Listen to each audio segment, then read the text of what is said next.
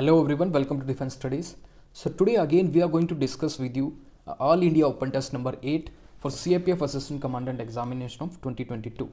The topic is for the essay is Non-Performing Parliament, Unhealthy Trend in Democracy. This particular topic was asked in CAPF examination of 2018 and since we have conducted All India test, many students have written exceptionally well but some some students struggle a bit because this is not a conventional topic जो कि आपके examination में आता था। अगर हम 2017 से पहले देखें तो ये टॉपिक कभी भी आपको देखने से नहीं मिलते थे। But thereafter we have seen a slight change in the trend अगर आप इसका ट्रेंड देखेंगे तो बहुत सारे चेंजेस आए हैं। So you need to focus more on current development ठीक है you need to focus more on your syllabus syllabus में जो भी कीवर्ड दिए गए हैं, उसको आपको बाय हार्ट लर्न करना है। वो जो कीवर्ड्स हैं, वो आपके माइंड में इम्प्रिंट हो जाने चाहिए। जब भी आप न्यूज़पेपर पढ़ें तो उन कीवर्ड्स को ध्यान में रखें, तभी अपने नोट्स उस कीवर्ड से रिलेटेड बनाएँ। तो अगर पेपर टू की बात करूँ तो 200 मार्क्स का आपका होता है। पार्ट ए में जो बेसिकली आपके ऐसे हैं 80 मार्क्स के। कीवर्ड्स हैं modern Indian history geography polity economy knowledge of security ये जो गिवन टॉपिक है, ये पॉलिटी से आया था आपका। इसके बाद अगर हम ट्रेंड देखें 2013 से लेकर 2021 तक, सात ऐसे टॉपिक हैं जो इंडियन पॉलिटी से रिलेटेड पूछे गए हैं। अभी हम ये वाला थर्ड टॉपिक आपके साथ डिस्कस करने वाले हैं।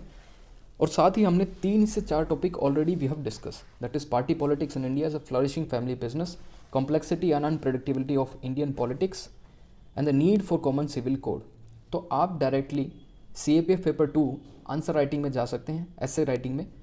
You can go on there वहाँ पे आपको मॉडल आंसर वहाँ पे मिलेगा मॉडल ऐसे थ्री हंड्रेड वर्ड्स में कैसे लिखते हैं इंट्रोडक्शन में क्या लिखना चाहिए बॉडी में एंड कंक्लूजन में. उसके बाद ये 2018 का आपका सीएपीएफ का पेपर है, उसमें छः टॉपिक आपको मिलते हैं। छः में से you have to write on four आपके पास चॉइस है। तो इसके बाद ये वाला टॉपिक हम डिस्कस करने वाले हैं और कुछ important before that we want to share some important news with you कि किस तरह से आपको फॉलो करना है आपका न्यूज़पेपर तो न्यूज़पेपर की अभी जो करंट डेवलपमेंट है, मैंने इस टॉपिक से लिंक की है। तो आपको भी इस तरह से लिंक करना आना चाहिए। रिसेंट अभी ये 2022 में 21 में, दिसंबर 22 की न्यूज़ है। तो Rajya Sabha perform much below its potential ऐसा दिस वाइस प्रेसिडेंट ने बोला है कि पोटेंशियल से नीचे काम कर रही है क्या राज्यसभा? उसके बाद early end to house session ये भी वाइस प्रेसिडेंट ने बोला है। उसके बाद house worked below potential again तो पोटेंशियल की बात हो रही है। और टॉपिक हमारा क्या है? Unhealthy trend in unknown functioning non performing parliament is unhealthy trend in democracy तो यहाँ पे पोटेंशियल वही है कि बिलो पोटेंशियल जब भी पार्लियामेंट काम करेगी it's a unhealthy trend for democracy. Because democracy में क्या है? जो लोगों की आवाज़ होती है, the voice the issues of local people, वो कौन रेज करता है पार्लियामेंट में? एम ठीक है, अगर पार्लियामेंट काम ही नहीं करेगी तो उनके ग्रेवेंसेज उनके इशू कौन सुनेगा? उसके बाद एक्सप्लेन इंडियन एक्सप्रेस की न्यूज़ है, role of all the committee. जो कमेटीज़ होती हैं, पार्लियामेंट्री कमेटीज़, जैसे फाइनेंशियल कमेटी के अंदर, public account committee, estimate committee, public sector undertaking committee. और उसके बाद जो आती है आपकी डिपार्टमेंट रिलेटेड कमेटी तो ये किस तरह से हम इनको यूज़ में लाते हैं for scrutiny of the bill किसी भी बिल की स्क्रूटनी करने के लिए। जैसे after scrutiny they will provide some suggestion कुछ पर्टिकुलर बिल में सजेशन लाएँगे। तो उससे क्या होता है, वो लिटिगेशन नहीं होती ज़्यादा बाद में जुडिशरी में। उसको चैलेंज नहीं किया जाता। अगर पहले ही डिपार्टमेंट रिलेटेड कमेटी या फिर these committee parliamentary committee standing committee scrutiny कर दे किसी बिल की तो all the deficiency of the bill ठीक है लिमिटेशंस ऑफ़ द बिल वहीं पे ठीक हो जाएँगी। उसके बाद ये भी एक न्यूज़ है heated winter session of parliament thereafter C J I chief justice of India इन्होंने भी कमेंट किया है कि a major fall out of rushing legislation without debate without debate legislation को पास किया जा रहा है, ठीक है? Through ordinance route through money bill ये देखिए C J I no for in drafting laws cloaks court तो ये कोर्ट का भी टाइम जाया करती हैं। उसके बाद it's a sorry state of affairs in parliament there is no clarity in law law बनाया जा रहा है, लेकिन क्लैरिटी नहीं है। जैसे थ्री फॉर्म लॉज की बात करें या फिर सी सी ए एन आर सी इस तरह की कॉन्ट्रोवर्शियल लेजिस्लेशन अननेसेसरी कोर्ट का टाइम भी वेस्ट करती है। Next news is lack of quality debate in parliament तो डिबेट अगर देखें तो पार्लियामेंट में मोस्टली नॉन एसेंशियल इश्यूज़ को उठाया जाता है। ठीक है? Like Pegasus virus unnecessary things quality debate नहीं हो रही नेशनल इश्यूज़ पर बात नहीं हो रही। ठीक है नेशनल बिल्डिंग की बात नहीं हो रही पॉवर्टी रेडिकेशन या फिर एम्प्लॉयमेंट जॉब्स इस तरह की चीज़ों पे बात नहीं हो रही ओनली नॉन एसेंशियल इशूज़ को वहाँ पे डिस्कस किया जा रहा है। अगर हम लोकसभा स्पीकर जी का कुछ बयान देखें तो Lok Sabha speaker voice is concern over parliament and assembly disruption now this is the exact आपको ऐसा ही तीन पेज मिलेंगे सी एग्जामिनेशन में। साइड में बाउंड्रीज मिलेंगी similarly and you have to write in around three hundred words all the things आपको इसमें इंट्रोडक्शन लिखना है बॉडी एंड कंक्लूजन तो इंट्रोडक्शन में आपको मेजर मेजरली क्या करना है? कंटेम्प्रेरी बेस लिखिए, जो अभी रिसेंट डेवलपमेंट है. अगर हम टॉपिक को देखें तो नॉन परफॉर्मिंग पार्लियामेंट एक कीवर्ड है. You have to identify the keywords ये सबसे ज़्यादा आपकी हेल्प करेगा. तो नॉन परफॉर्मिंग पार्लियामेंट तो पार्लियामेंट का काम क्या है? लेकिन वो कर नहीं रही है तो नॉन परफॉर्मिंग पार्लियामेंट उसके बाद ट्रेंड है, कि पहले ऐसा नहीं था. रिसेंट ट्रेंड है अनहेल्दी ट्रेंड इन डेमोक्रेसी। तो डेमोक्रेसी के प्रिंसिपल्स क्या हैं? वो आपको कनेक्ट करने हैं किससे? पार्लियामेंट से। तो पार्लियामेंट कैसे अपहोल्ड करती है प्रिंसिपल ऑफ़ डेमोक्रेसी? ठीक है? तो आइए अभी इंट्रोडक्शन पे। इंट्रोडक्शन आपको अराउंड 50 टू 60 वर्ड्स में कंप्लीट कर देना चाहिए। पार्लियामेंट की बात करूँ तो parliament which is consider as the temple of democracy अगर आप इस तरह से लिख सकते हैं ठीक है? थोड़ी क्रिएटिव राइटिंग आप कर सकते हैं या फिर अपनी अकेडमिक राइटिंग को थोड़ा इंप्रूव कीजिए। तो इजीली ये सब चीज़ें आप लिख सकते हैं कि parliament which is consider as the temple of democracy and guardian of democratic principles किस तरह के principles public discourse social welfare scrutiny of bills accountability accountability means government को कैसे अकाउंटेबल करता है? दिस एग्जीक्यूटिव को कैसे अकाउंटेबल करता है? पार्लियामेंट या फिर Lok Sabha. Transparency while this passing of a bill क्या उसमें ट्रांसपेरेंसी है? स्क्रूटनी प्रॉपर हुई है, ठीक है?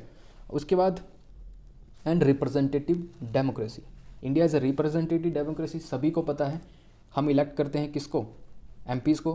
There after they go into the parliament वो हमारे इश्यूज़ और जो हमारे लोकल लेवल की जो ग्रेवेंसेज है, वहाँ उठाते हैं। तो representative democracy has witness some disruption तो मैंने यहाँ पे डिसरप्शन की बात कर दी।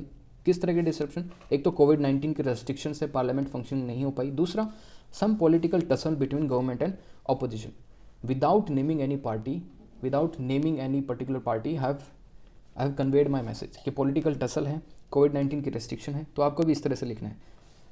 Parliament which is the supreme legislative body of India यहाँ से मैंने बॉडी अपनी स्टार्ट कर दी है। Is suppose to pass bills through proper discussion ये उनका काम है प्रॉपर डिस्कशन होना चाहिए deliberation and scrutiny through parliamentary committee parliamentary committee इसीलिए बनाई है स्क्रूटनी के लिए बिल्स जो गवर्नमेंट लेके आती है।